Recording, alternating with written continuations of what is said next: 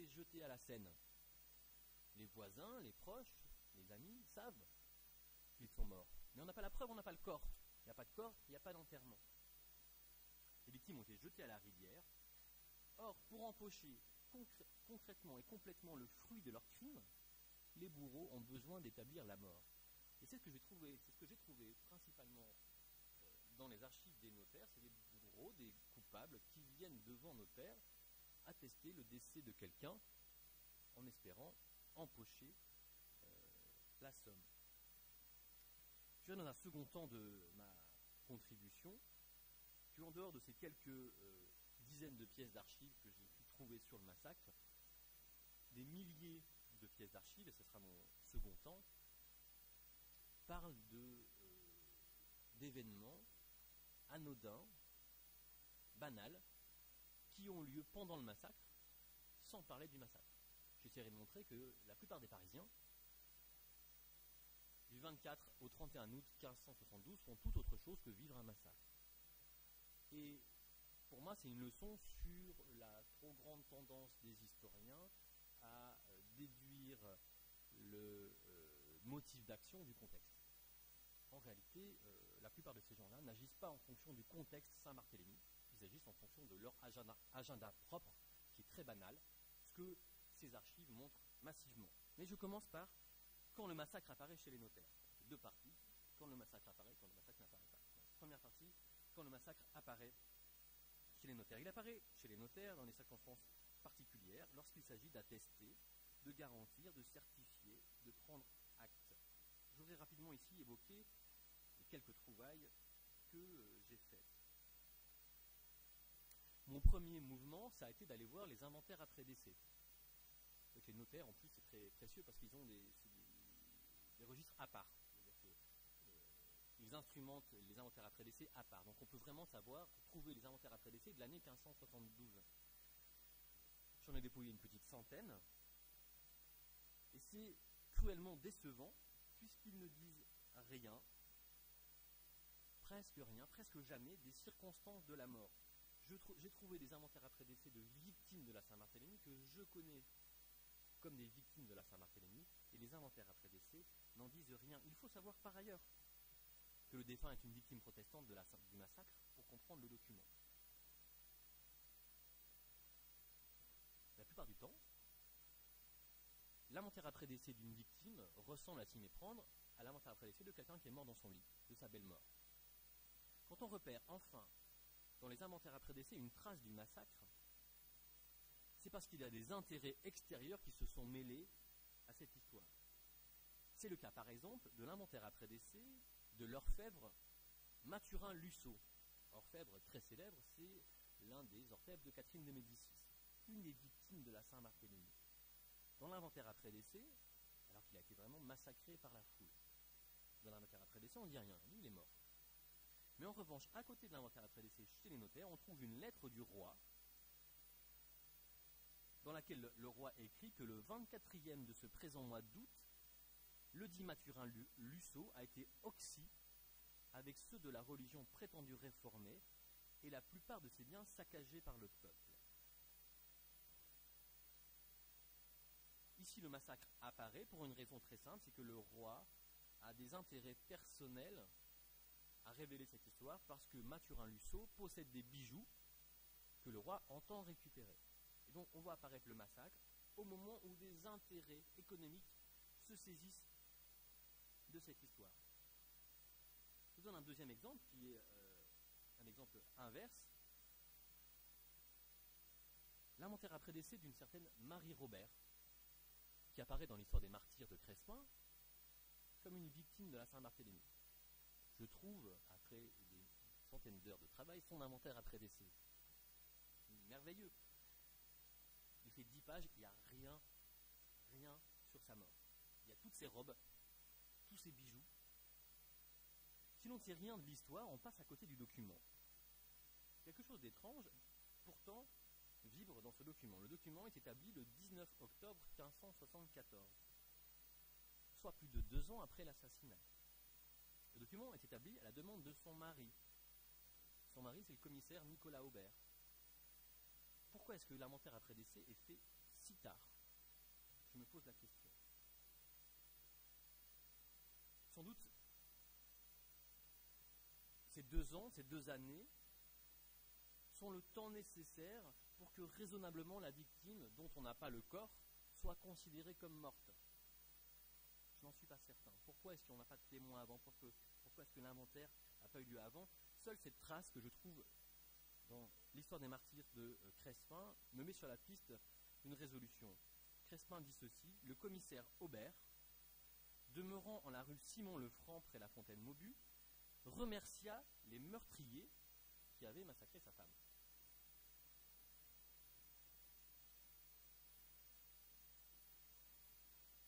Alors je pense, je n'en suis pas sûr, ici, on voit bien que les archives sont plus des actes que des témoignages. Elles ne témoignent pas seulement d'une réalité, elles espèrent agir sur cette réalité, dire ses faits, en faisant établir tardivement l'inventaire après décès de sa femme. Le commissaire Nicolas Aubert peut jouir des biens de sa femme pendant l'intervalle de temps, les deux ans qui s'écoulent ici, et prétendre tout ignorer du sort de son épouse. Il peut jouer aux veuves éplorées. En temps voulu, lorsque les mémoires se sont calmées, il fait établir l'inventaire après décès, il hérite des biens et il est innocent. C'est une hypothèse euh, tout à fait cruelle pour Nicolas Aubert, je, n'en suis pas euh, certain. Qui tue lors du massacre? On a souvent désigné le roi, Catherine de Médicis, le duc d'Anjou. Bien sûr, ils ont sans doute décisions. Mais qui tue concrètement pendant la Saint-Barthélemy? Les voisins. Seuls les voisins sont capables de savoir qui, à Paris, est protestant. C'est un massacre, comme fréquemment dans les guerres civiles, entre voisins. Et c'est même sans doute la caractéristique la plus commune de toutes les guerres civiles, le rôle des voisins dans la mise à mort de leurs voisins notamment parce qu'ils sont seuls en possession des informations nécessaires à la mise à mort. Confession des victimes, adresse des victimes, habitude des victimes. Je le montre sous quelques documents que j'ai trouvés. Premier type de document qu'on trouve chez les notaires, les attestations de décès.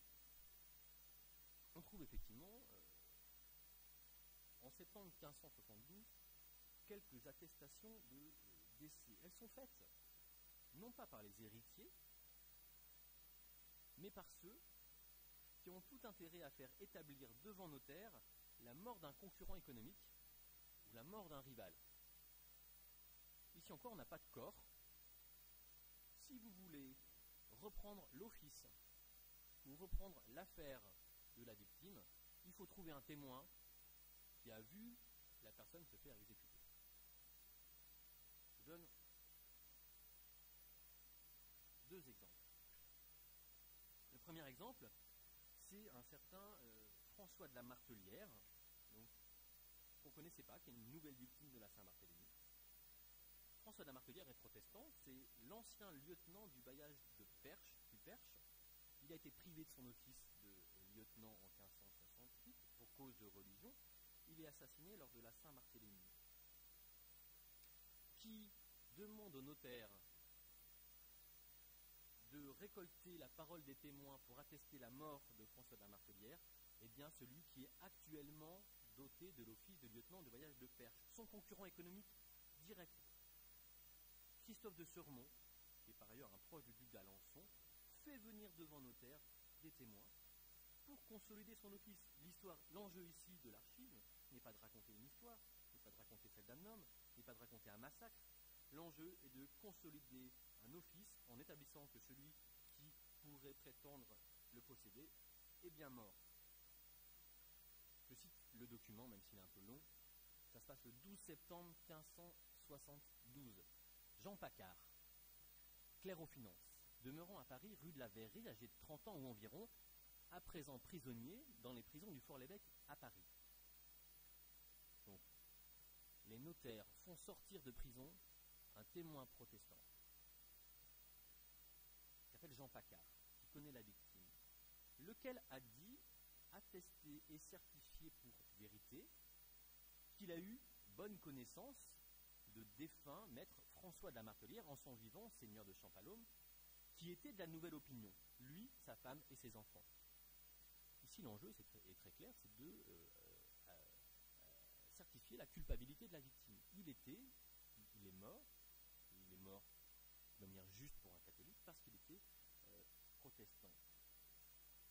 Il le sait, parce qu'il a fait refus de faire profession de foi. Et il a été privé, par arrêt de la Cour de Parlement, de son état et office de lieutenant général au bailliage de Perche. Et aussi qu'il a entendu que le dit défunt et sa femme ont fait baptiser leurs enfants au prêche. Il a aussi entendu que le dit martelière a été tué et oxy en cette ville de Paris le dimanche jour Saint-Barthélemy dernier et que le corps du dit défunt fut traîné à la rivière. Donc ici on a un témoin qui sort de prison dont le seul euh, but est d'assurer à celui qui euh, demande au notaire d'instrumenter d'obtenir euh, son euh, office. Ils font venir un deuxième témoin, le cousin de la femme de la victime, le cousin de la femme de la victime, je ne cite pas, je cite juste son nom, qui s'appelle Nicolas Morales. L'intéressé n'est pas là. L'enjeu, c'est la possession de l'office. C'est pas l'histoire. C'est pas raconter, c'est pas témoigner. L'enjeu est tout autre. Et je pense qu'il est très important d'articuler ces méta-récits lorsqu'on fait euh, nos récits. Bien évidemment, on a envie de se jeter sur cette histoire d'un corps qui est traîné à la rivière. On n'a pas beaucoup de témoignages. Mais il faut toujours articuler cette histoire au premier degré avec une histoire au second degré. Deuxième exemple, les, euh, le,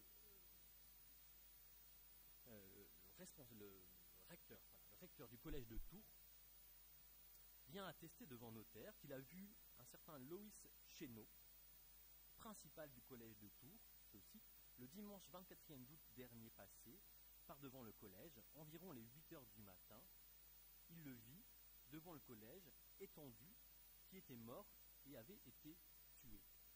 Ici encore, même, euh, même procédure, euh, le recteur vient établir qu'un de ses concurrents, par ailleurs on sait qu'il le déteste, euh, il l'a vu mort.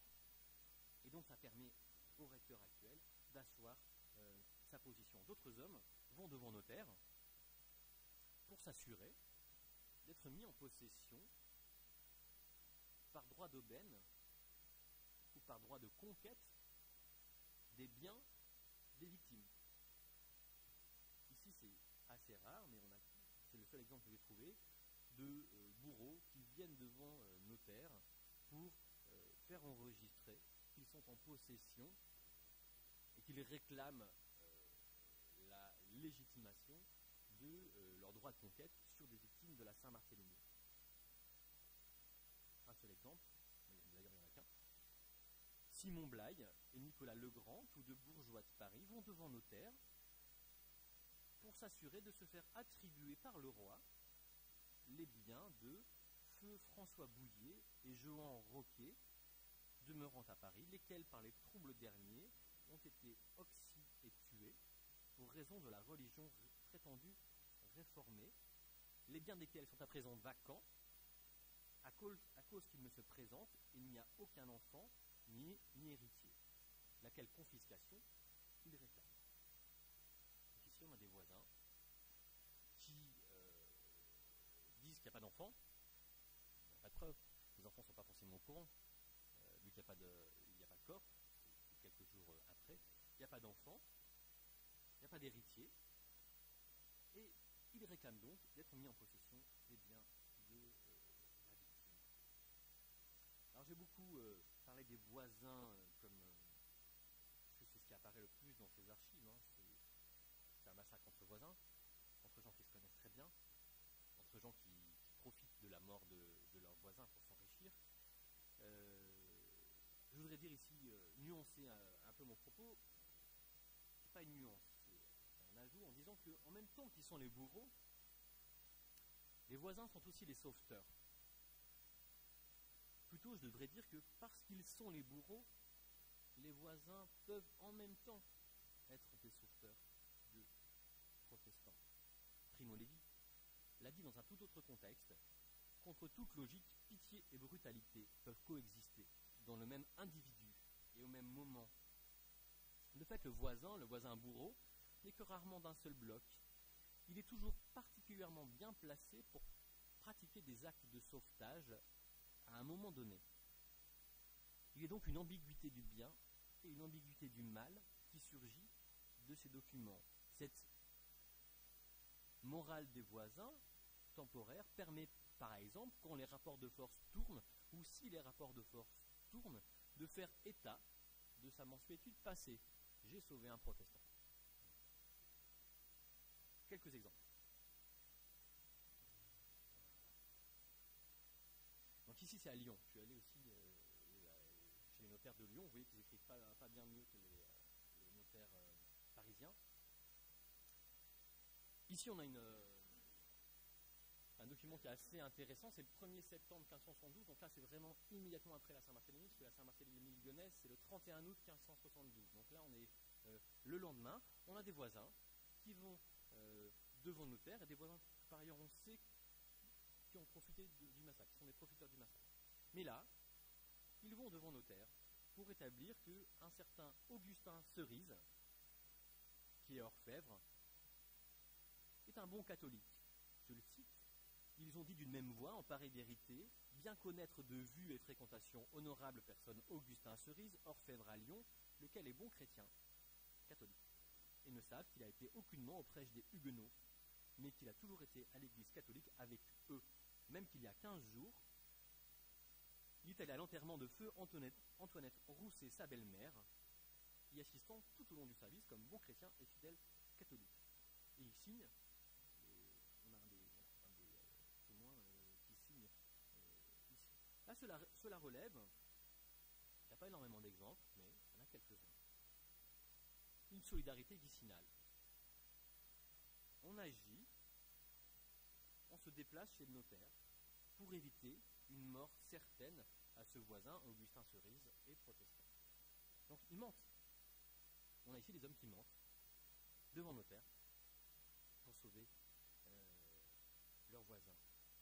Ces attestations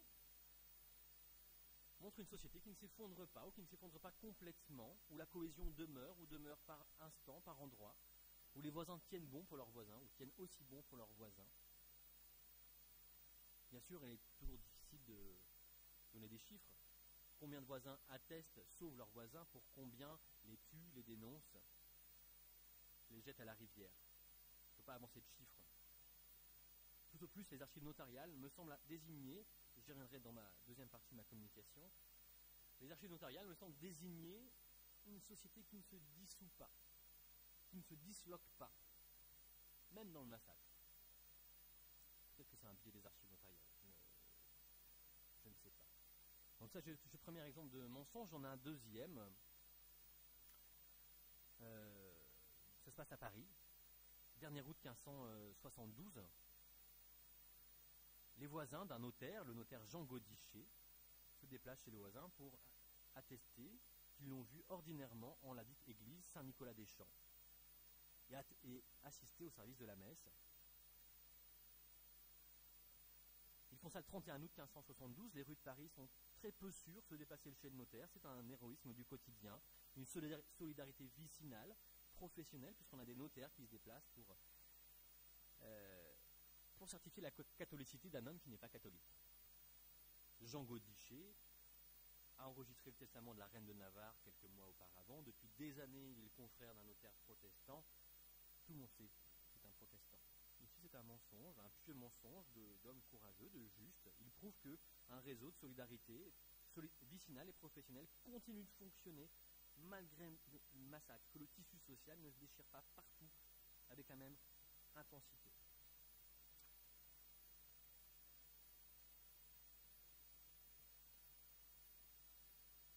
Alors avant de passer euh, au, au silence des notaires, j'ai un dernier exemple. Euh,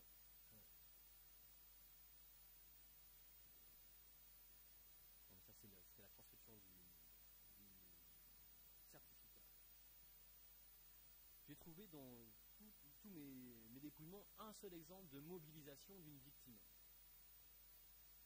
Un protestant qui a été arrêté pendant la Saint-Barthélemy, dont les biens ont été confisqués, c'est un petit noble qui s'appelle François Lecoq, et qui demande à des notaires de se déplacer chez le capitaine de la milice qui a confisqué euh, ses coffres.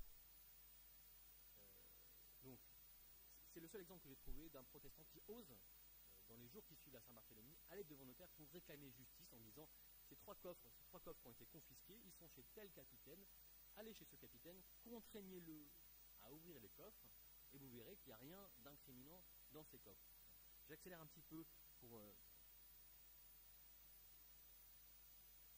il y a trois coffres. Euh, le capitaine de la milice qui les retient dit qu'il les, a retenus parce que ces coffres euh, étaient dangereux pour la République. C'est une rhétorique commune de tous les pilleurs. Ils n'ont pas fait ça s'enrichir, ils ont fait ça parce que ces coffres étaient menaçants, plein d'armes, plein de mauvais... En réalité, la plupart des, pillages sont des pillages économiques. Mais là, François Lecoq demande au notaire d'attester que dans les coffres, il n'y a rien de compromettant. Et on a le procès verbal de l'ouverture de ces coffres. Le premier coffre est ouvert. On y trouve, je cite, un haut de chose de chamois, plusieurs bas de choses, quelques choses mouchoirs, un petit sac, quelques lettres, et un petit, et un petit pistolet et quelques petits vêtements. Ça, c'est un camouflé pour le capitaine de la milice des mouchoirs et des vêtements dans un coffre, on ne peut pas dire que c'est incriminant. Un pistolet non plus, pour un petit noble, il a le droit de le posséder. Euh, camouflé. Le premier coffre est rendu à son euh, propriétaire. Le deuxième coffre, euh, commence à remonter, c'est très décevant, remonte du filet, un manteau de serge, de passement d'argent, un pourpoint de satin noir, encore des vêtements, on poursuit la fouille sans y croire, en dessous des vêtements, les notaires dénichent plusieurs livres d'humanité, tant en latin que François, un repère du, Virgile, c'est très décevant, Virgile. Et puis enfin, en dessous de Virgile, quelques autres petits livres, mais malheureusement non censurés. Euh, ennuyé. Euh, tous les regards se posent enfin sous un dernier ouvrage, dernier ouvrage qui était caché sous les vêtements. Des noms clignotent sur la couverture de cet ouvrage. Enfin, je cite, il trouve un petit livre des psaumes traduites en français par Marot et Bèze. Et là, évidemment, le capitaine triomphe. C'est un protestant, c'est un livre interdit qui trouble euh, la République. Il a donc le droit de euh, conserver les, coffres. Mais tout le procès verbal montre que ceci a été très long. Ici, on a un témoignage sur la Saint-Barthélemy, mais aussi sur les procédures de production d'archives. On a un témoignage aussi sur la guerre civile. Il faut cacher les choses, euh, les livres qui euh, incriminent, et ce livre a été caché le jour de la Saint-Barthélemy.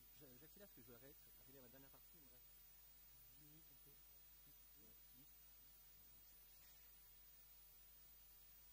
Le silence des notaires. Euh, pour l'essentiel, que voit-on chez les notaires quand on dépouille tous les actes que j'ai fait entre le 24 août 1572 et le 15 septembre 1572, dans ces milliers de documents sur lesquels on se casse les yeux, rien. Rien. Une grande indifférence. Dans un, premier temps, j'ai pris vaguement des notes euh, en disant que c'était pas intéressant. Puis dans un second temps de ma réflexion, je me suis dit qu'en réalité c'était très intéressant ces archives, malgré tout, malgré la déception, évidemment, je préfère trouver des, choses relatives au massacre, mais malgré tout, ces archives disent quelque chose de l'événement. Qu'est-ce qu'elles disent?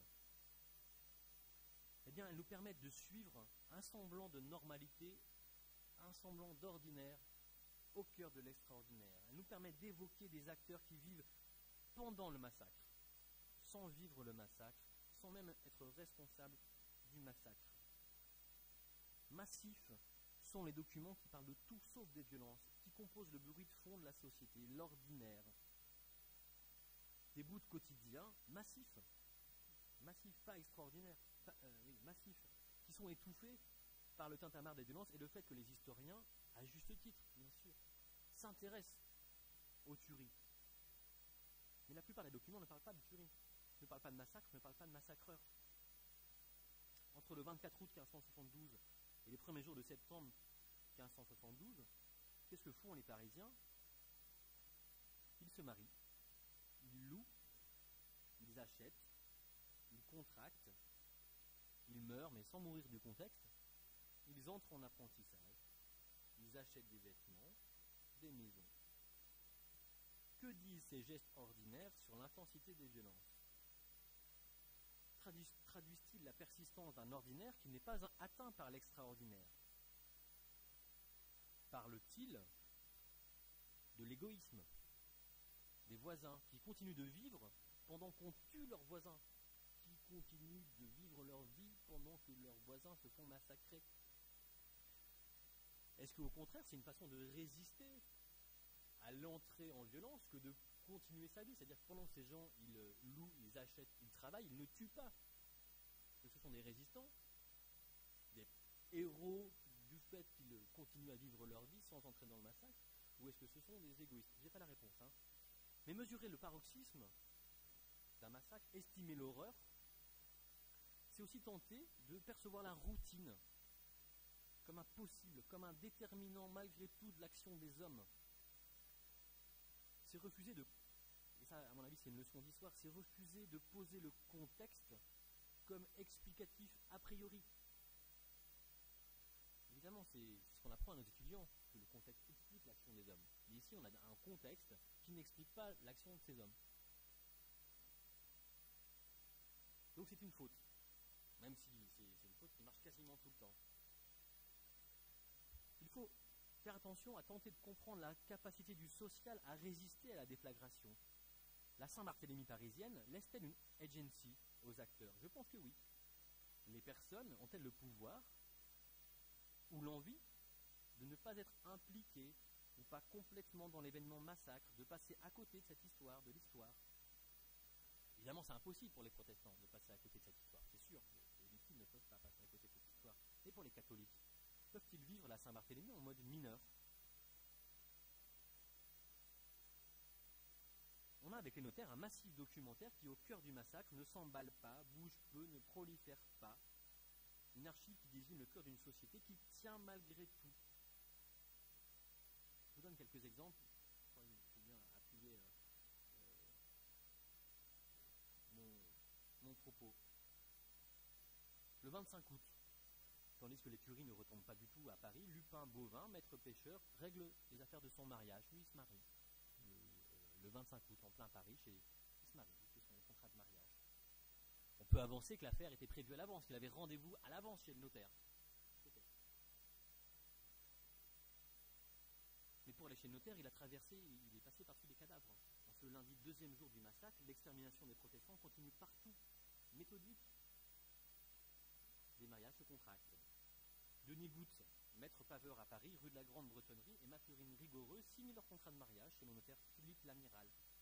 Même jour, deux jours plus. Même chose deux jours plus tard pour des domestiques. Alors, je le redis, il est probable que ces rendez-vous chez le notaire aient été fixés avant le massacre. Mais le fait qu'on honore ces rendez-vous dit déjà quelque chose sur une société qui ne bascule pas totalement dans l'horreur. Ne saura jamais combien de rendez-vous ont été annulés. J'aimerais savoir euh, qui a annulé son rendez-vous chez le, notaire pour mesurer l'effet du paroxysme. J'aimerais savoir euh, si certains ont renoncé à se marier ou à se marier ce jour-là. On aimerait savoir ce qu'ils ont ressenti à contracter, tandis que d'autres agonisaient juste à la porte du notaire, si de la honte ou de l'embarras ont fait trembler leur signature, si le massacre les a un temps soit peu bousculés dans leur quotidien. C'est peu des questions que je me pose et je pense que je n'aurai jamais euh, J'ai énormément, et la date, euh, c'est la date de renouvellement des baux. Hein, vous savez, euh, début septembre, on renouvelle son bail. eh bien, centaines de Parisiens renouvellent leur bail, vont chez notaire pour renouveler euh, leur bail, euh, leur location. Ainsi, euh, Eloa Gross, qui est laboureur à Fleury, le 25 août, il signe son bail de loyer avec les religieux de l'abbaye Saint-Victor, tandis qu'au même instant, au même endroit, dans cette même abbaye, des dizaines de protestants se cachent. lui, il signe, il prend une location. Tandis que certains doivent penser à mettre leurs enfants à l'abri des tueurs, c'est le cas des protestants, d'autres, dès le 25 août, mettent les leurs en apprentissage. J'ai trouvé des dizaines de contrats d'apprentissage, c'est la saison, c'est normal. Marion Beaumont, veuve d'un couvreur de chaume, place sa fille comme apprentie chez en Guelin marche en passe-mentier à Saint-Marcel.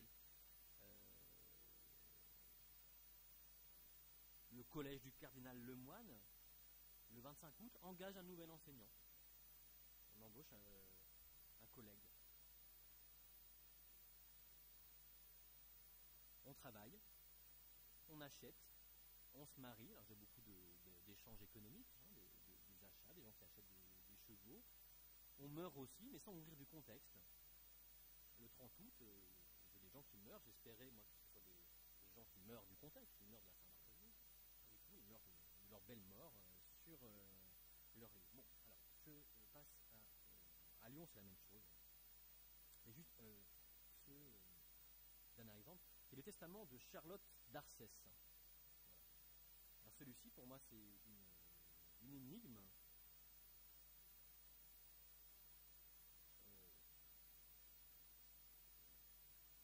Euh, en disant qu'il faut rester prudent. Il y a des actes qu'on n'arrive pas, euh, qu'on qu pourrait dire euh, ordinaires, banals, mais peut-être c'est parce qu'on parce que je n'ai pas suffisamment d'informations sur les acteurs. Lors de circonstances critiques, derrière des actes en apparence anodins, comme acheter, louer, se marier, peuvent aussi se cacher des stratégies de normalisation, de banalisation. Prétendre à l'ordinaire en des circonstances extraordinaires relève aussi parfois de tactiques de survie. Donc, derrière ce que moi je pense, je lis comme une persistance de l'ordinaire, peut-être qu'en réalité ce sont des stratégies de protestants qui font semblant que leur vie continue de, de continuer. Testament de Charlotte d'Arcès, je ne comprends pas. C'est le 24 août 1572, c'est le jour de la Saint-Barthélemy à Paris. C'est un dimanche. Normalement, les notaires parisiens n'instrumentent pas le dimanche. Là, elle fait venir des notaires chez elle, elle est dame d'Armentières, elle passe devant notaire, ce testament, gisante au lit malade, en une maison assise à Paris, rue Sainte-Opportune, appelée l'hôtel de Mamie. C'est un codicile, c'est pas un testament, c'est un codicile. Comment analyser euh, ce testament? Est-ce qu'elle n'est pas du tout au courant qu'il y a un massacre, que c'est pas une très bonne idée de faire venir des notaires chez elle à ce moment-là? Ou alors est-ce qu'elle est protestante? Pour l'instant, je n'ai pas trouvé encore. Et du coup, c'est particulièrement opportun en son codicile, je cite, de léguer à frère Henri Champion, religieux jacobin, 300 livres au tournoi euh, ou à Jehan Cholet, prêtre, la somme de 60 livres. Est-ce que c'est un testament le jour du massacre d'une protestante qui fait semblant qu'elle est euh, catholique? Je ne sais pas. Euh, donc ce que je voulais dire, c'est que des fois, derrière les actes ordinaires, on peut lire des stratégies de euh, survie. Ces questionnements sont un appel à prolonger l'enquête. J'ai trouvé un exemple, je le cite avant de conclure, euh, d'un certain géographe, j'ai oublié son nom, qui se marie il se marie, il y a tout le formulaire très très catholique du mariage, il se marie le 25 août 1572, et en réalité, en, réussissant à trouver des informations sur lui, je me suis rendu compte qu'il était protestant. Donc ici, on a un acte a priori banal euh, chez le notaire, et je conclus, euh, qui en réalité cache une stratégie de euh, survie. Alors pour conclure, quel Saint-Barthélemy ressort des archives des notaires? D'abord, une Saint-Barthélemy des voisins, Saint-Barthélemy du voisinage. Une Saint-Barthélemy, on voit le rôle des voisins qui profitent du crime, où l'on lit que la guerre civile est avant tout une guerre entre voisins. On le savait, mais on le voit vraiment très clairement dans, dans les archives des notaires, le rôle des voisins dans la persécution des voisins. Ça, c'est le, le, le, premier point qui me semble arriver. Deuxième point qui est presque contradictoire avec celui-ci, mais je vous lis tel quel, une société qui malgré tout tient une société dans laquelle, même pendant le massacre, on continue à travailler, à se marier, à contracter. On n'est pas dans ce qu'on pourrait appeler un paroxysme, on n'est pas dans un effondrement euh, social euh, complet. Alors, il serait intéressant de comparer ce moment de massacre avec d'autres crises radicales. Euh, mettons la libération de Paris, la Révolution française, quelques, points de la Révolution française. Qu'est-ce qu'on qu qu voit chez les notaires? Est-ce que les notaires continuent, qu'on continue à travailler? Est-ce qu'on continue à louer? En tout cas, là, on a une société qui tient tant que les notaires continuent à instrumenter, à mon avis, la société euh, tient.